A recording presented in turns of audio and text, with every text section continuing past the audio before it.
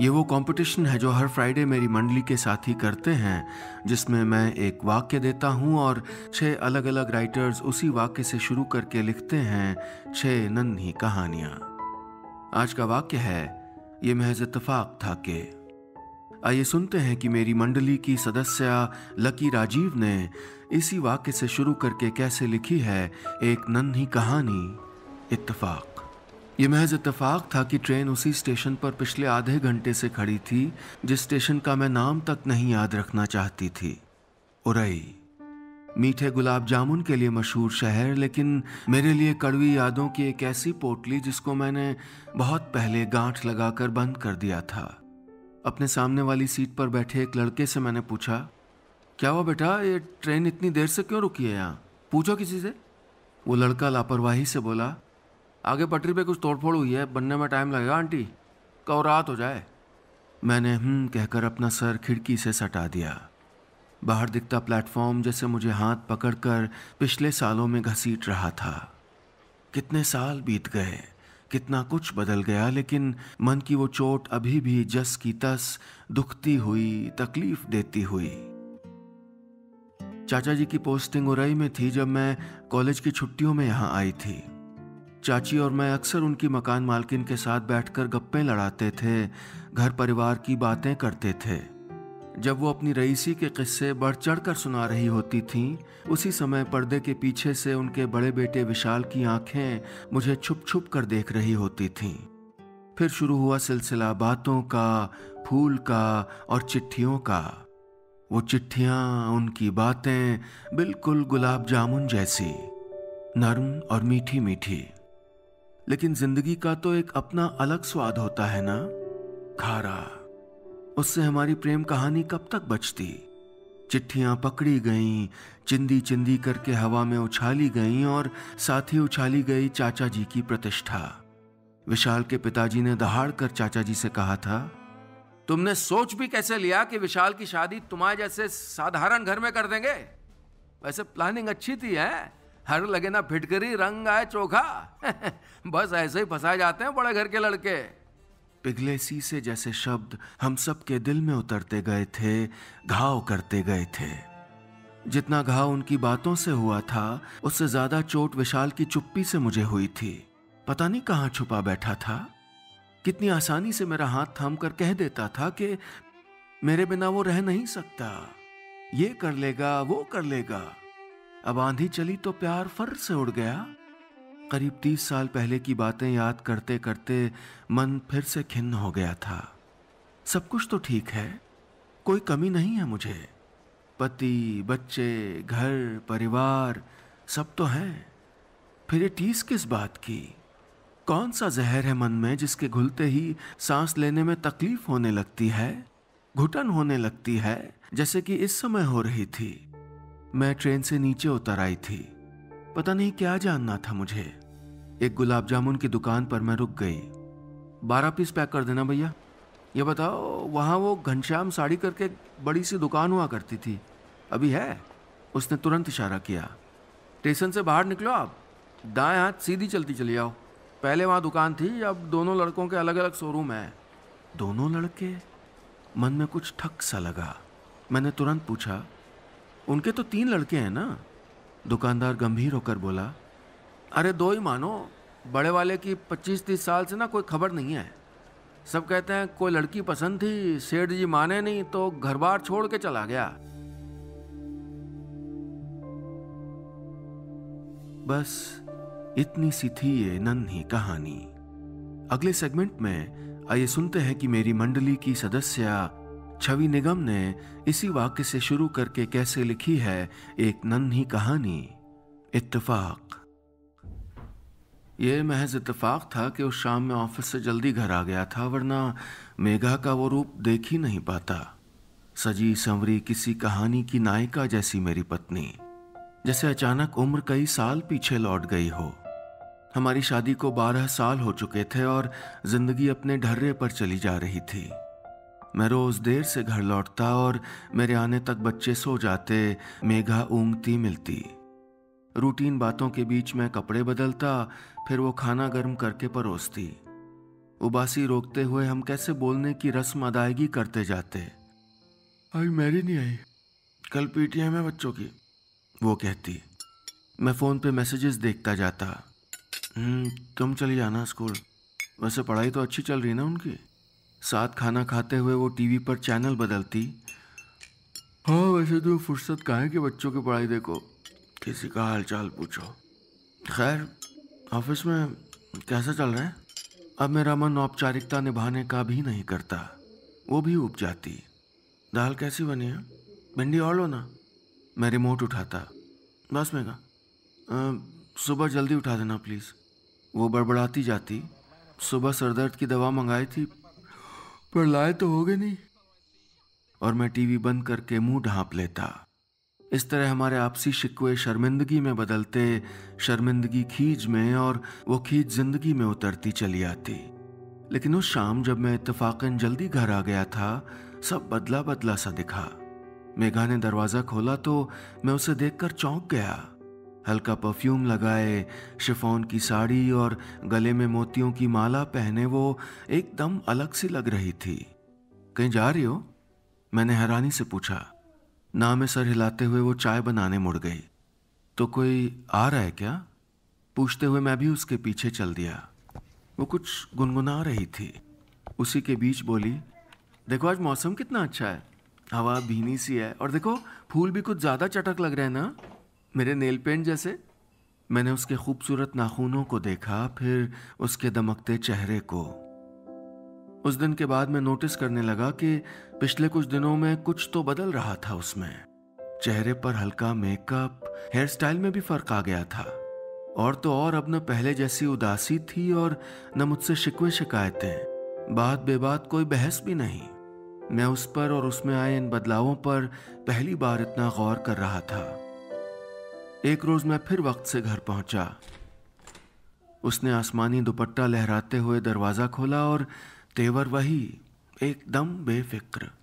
अंदर उठती बेचैनी को दबाते हुए मैंने पूछा, क्या हुआ? कुछ कुछ मंगाना है क्या मेगा मेरे सवाल पर उसने मुझको न उलाहने दिए, न सामान की लिस्ट पकड़ाई। उसने गमलों पर मंडराती एक तितली को पकड़कर मेरी हथेली पर आहिस्ता से बिठा दिया। कितने प्यारे रंग है ना इसके। ऐसे कुछ रंग लेते आना।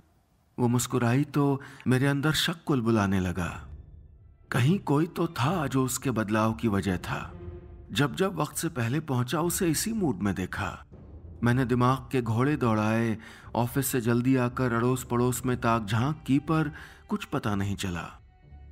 अब मैं रोज सुबह अखबार के बजाय उसके चेहरे को देखता और ऑफ़िस से लौटने के बाद उसे सजे सवरे हुए अपने किसी शगल में डूबा पाता। मेरा दिल उससे फिर बंधने और उसे खो देने की संभावना से डरने लगा था। आज तुम खाना नहीं खा रही मेघा?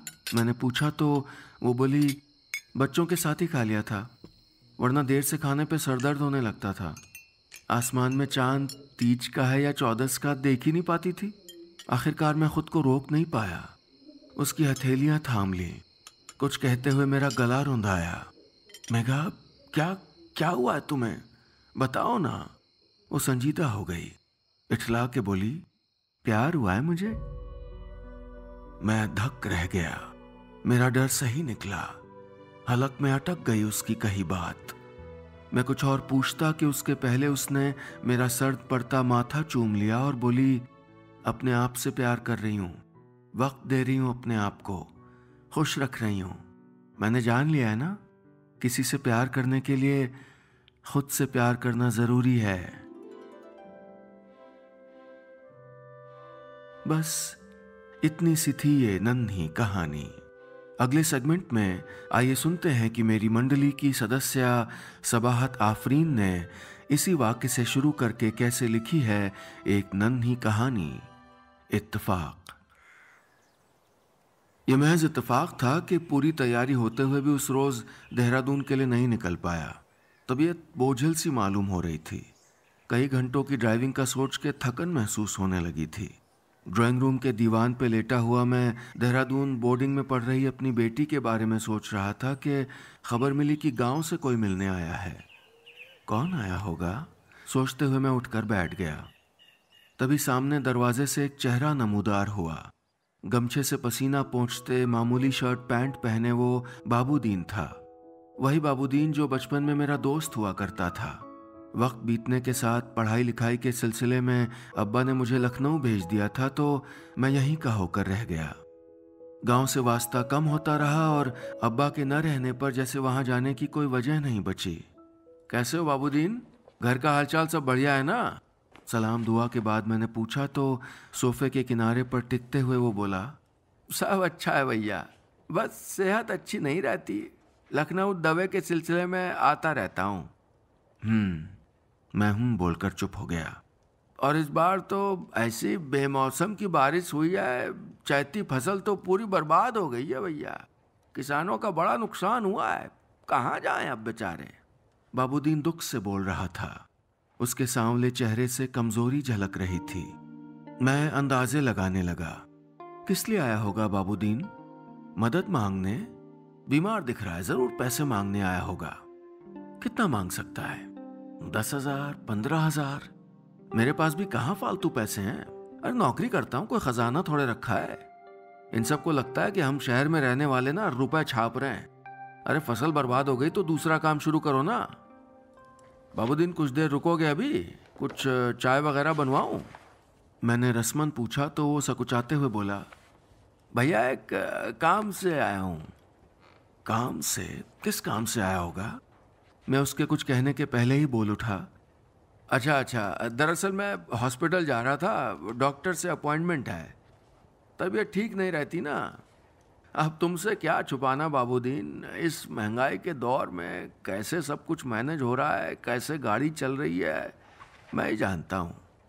खैर, तुम बताओ, क्या कह रहे थे? भैया, वो कुछ पैसों की बात थी। बाबूदीन मेरे करीब आते हुए बोला, आपके अब्बा ने कुछ पैसे दिए थे मेरी बहन की शादी के वक़्त। उसने कुर्ते की जेब से रुमाल में लिपटे नोट निकाले और मेरे आगे रख दिए। ये बीस हज़ार रुपए यही लौटाने आया था। अब गरीबी नहीं रह गई, काम धंधा अच्छा चल रहा है। भैया, छोटे मुँह बड़ी बात, लेकिन कुछ ज़रूरत होगी, कोई काम हो तो हुक्म करिएगा। एक आवाज़ पे पैसों का इंतज़ाम हो जाएगा। बाबूदीन सोफे से उठाया। मेरी हथेली थपक कर वो दरवाजे की तरफ़ बढ़ गया। मैं नज़रें झुकाए बैठा रहा। बेहरकत बे आवाज़ मेरा वजूद गिरा जा रहा था। नीचे, बहुत नीचे। बस इतनी सी थी ये नन्ही कहानी।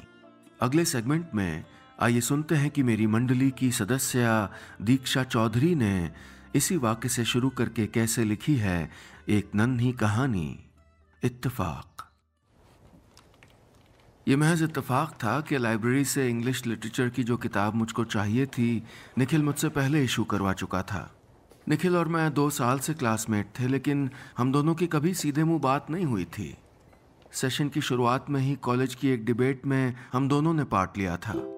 टॉपिक था how would the world look like without love मैंने कहा, प्यार के बिना दुनिया बेरंग होगी, उदास होगी।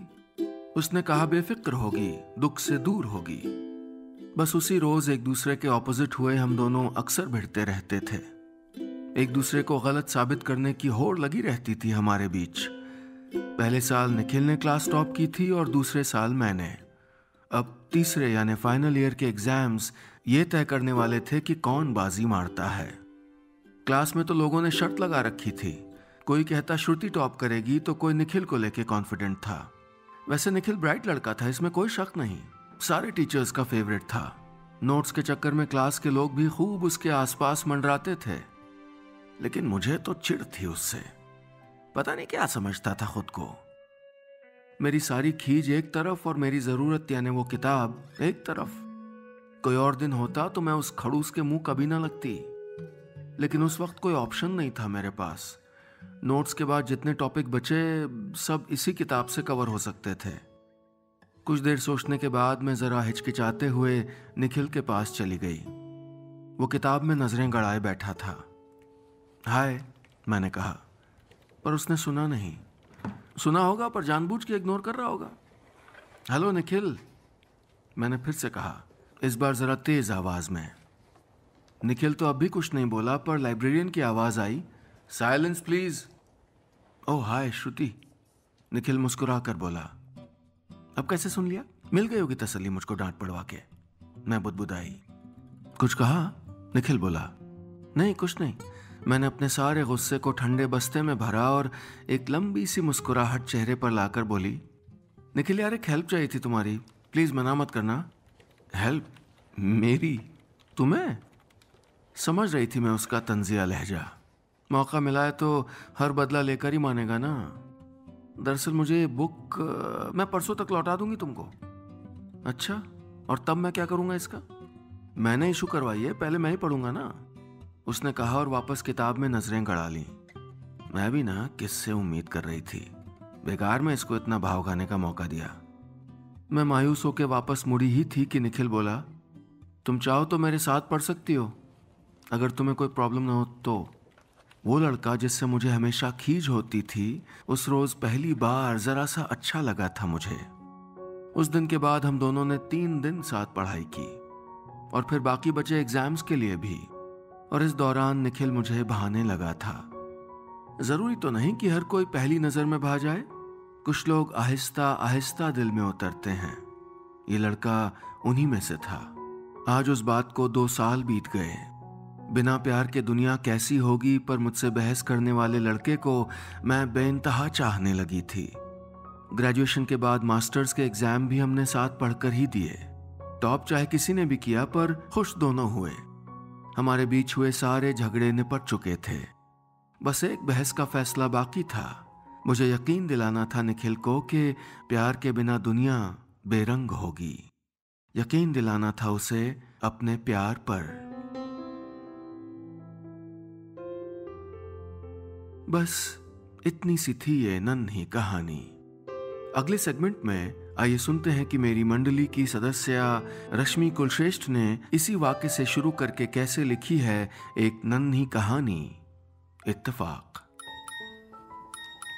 ये महज इतफाक था कि सोच समझ के की गई इशारेबाजी।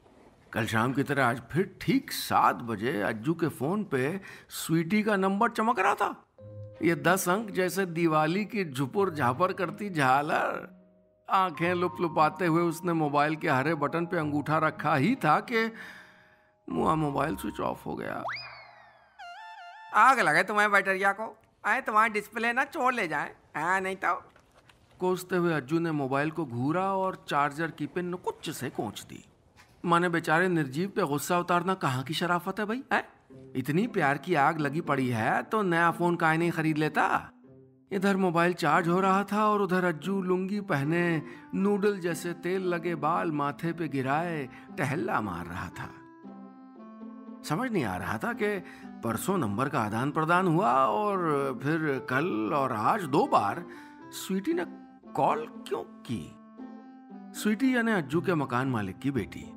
नौकरी पेशा अज्जू को यूँ तो छत पे बने कमरे में रहते हुए तीन महीने हो गए थे, लेकिन स्वीटी से मुलाकात महीने भर पहले ही हुई थी। इसी दीमक वाली चौखट पे खड़े होकर उसने कहा था, वो पापा ने किराए के लिए कहा है। अज्जू ने बाकायदा हज़ार रुपए के साथ अपना दिल भी दे दिया था और उस दिन से सुबह की दातून से लेके रात की उबासी तक सारा काम आँगन वाली दीवार पे बैठ के होता। बाकायदा ना इंसुख लिया जाता। कुछ दिनों बाद बातों के रस की तलब हुई तो अज्जू आते जाते पूछता, स्वीटी जी, यहाँ स्टेशनरी कहाँ मिलेगी? अच्छी मिठाई की दुकान बताएँ तो। पिज्जा घर भेजने वाली होम डिलीवरी होती है क्या? स्वीटी चाशनी जैसी आवाज़ में, जी हाँ बताती हूँ। कहती और अज्जू को लगता जैसे समुद्र मंथन का अमृत उसे ही मिल गया हो। परसों ही बड़ी चालाकी से अज्जू ने नंबर मांगा था। वो एक कलीग को ना गिफ्ट देना है। आपके मोबाइल पे फ़ोटो भेजेंगे। चुनवा देंगी। स्वीटी ने जैसे ही हामी भरी, उसने तुरंत नंबर बता दिया। किस नाम से सेव करें? स्वीटी ने पूछा था तो उसने कहा, प्यार से मैं अज्जू पुकारते हैं। आगे पीछे आप जो चाह लगा लें। अज्जू बुदबुदा कर उसने नंबर सेव किया और मिस्ड कॉल दे दी। अज्जू ने फ़ौरन वो नंबर सेव कर लिया।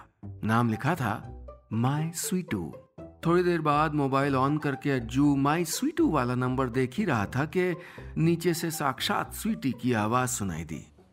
अज्जू ने बौराते हुए मोबाइल डाला जेब में, न चप्पलें पहनी, न पायजामा बदला, बस नीचे सर पट दौड़ लगा दी। स्वीटी सुनिए स्वीटी। अज्जू की हवाई छूट रही थी।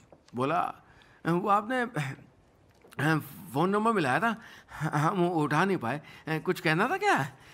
कुछ इम्पोर्टेंट झेपिएगा नहीं झेपिएगा नहीं। अरे नहीं। बोलते हुए स्वीटी हँसी। वो गलती से लग गया था।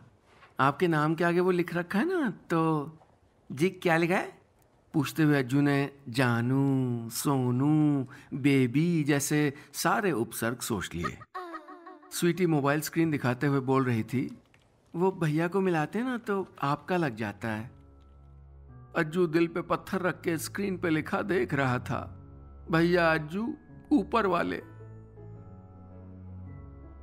बस, इतनी सी थी ये नन्ही कहानी।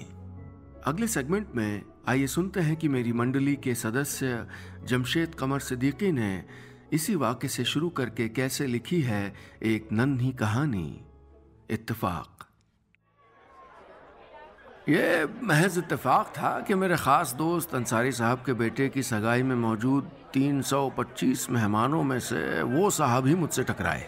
अधेड़ उम्र के थे, शायद अंसारी साहब के ही कोई करीबी। चमचमाती सदरी, हाथ में प्लेट और सदरी की जेब से झांकता सिक्के वाला व्यवहार का लिफाफा। बूफे टेबल पर रखी रसगुल्ले की ट्रे के सामने मैंने कहा, लीजिए, पहले आप ले लीजिए। वो मुस्कुराए। चम्मच से रसगुल्ला निकालकर प्लेट में रखने लगे। लेकिन उनका तरीका बड़ा अजीब तरीन था। चम्मच से रसगुल्ला उठाते, फिर दांत से थोड़ा सा काटते और फिर प्लेट में रखते। इस तरह चार उन्होंने प्लेट में रखे। पांचवे पे मैंने टोका। चख रहे हैं क्या? बोले, नहीं, दांत से थोड़ा काट के प्लेट में रखो तो रसगुल्ला लुढ़कता नहीं है, वरना रायते में मिल जाता है। मेरा दिल किया चचा के कदमों में गिर जाऊँ, मगर तभी एक आवाज़ से हम दोनों चौंक गए। साहबान शेरवानी पहने अंसारी साहब महफिल में कह रहे थे, पिछले गेट से कुछ लोग घुसाए, बिन बुलाए दावत में खाना खाने। नज़र रखिएगा। अंसारी साहब के ऐलान के बाद चचा की नज़रें शक से घूमने लगी। उन्होंने मेरी तरफ़ देखा तो मैं हड़बड़ा गया। सिर्फ़ चचा को यकीन दिलाने के लिए पास खड़े शख्स से पूछा, और शफीक भाई, कोचिंग कैसी चल रही है? मामू का प्लास्टर खुला? खैर, कुछ देर बाद अंसारी साहब गुजरे तो चचा ने उनकी जेब में व्यवहार का लिफाफा डाल दिया और बोले उधर देखिए, वो बाल रंगे लड़का कैसे भकर भकर चाउमीन खा रहा है। अंसारी साहब ने गौर से उसे देखा, फिर सीधे जाकर उसके बाल पकड़ लिए।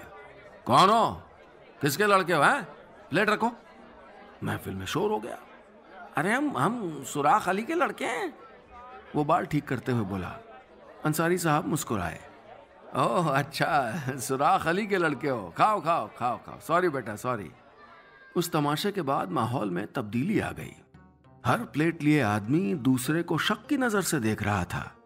लोग बड़ी तमीज से खाना खाने लगे। कुछ घंटों बाद जब सब निपट गया तो मैं जाने से पहले अंसारी साहब से मिलने पहुँचा। जा रहे हैं, खाना खा लिया? उन्होंने पूछा। जी जी तो कौन घुसाया था, पता चला? मैंने पूछा तो आँख मार के बोले, अरे, कोई नहीं घुसा था। ये तो मेरा पैंतरा था, नदीदे रिश्तेदारों पे नज़र रखने का। अरे खाना पैक करके ले आते हैं मेरे कंजर रिश्तेदार। सात सौ रुपए पर प्लेट का मामला था भाई। मैं हैरान रह गया। उन्होंने बताया कि अफवाह इसलिए उड़ाई ताकि मेहमानों पे नज़र रख सकें कि कौन कितना खाना खा रहा है और कौन बिरयानी प्लास्टिक बैग में भर के घर तो नहीं ले जा रहा। बोले, अरे किसकी हिम्मत की हमारे यहाँ घुस के खाना खा ले? फिर ठहाका लगा के कहा वो बेचारे तुम्हारे दोस्त वो भी धोखा खा गए। सुराख अली के लड़के को पकड़वा दिया। मैं भी हंसा लेकिन फिर अचानक रुक गया। आ, मेरे दोस्त वो चचा तो आपके दोस्त थे। अंसारी साहब थम गए। मेरे? नहीं तो मुझे लगा तुम्हारे साथ है। अंसारी साहब दो पल रुके फिर जल्दी से वो लिफाफा खोला जो चचा ने जेब में डाला था। लिफाफा खाली था और बेनाम था। सात सौ रुपए का नुकसान हो गया आपका। मैंने कहा तो अंसारी साहब लिफाफे पे चिपका सिक्का नोचते हुए खिसिया के बोले हम्म छह सौ निन्यानबे का तो हो ही गया। बस, इतनी सी थी ये नन्ही कहानी।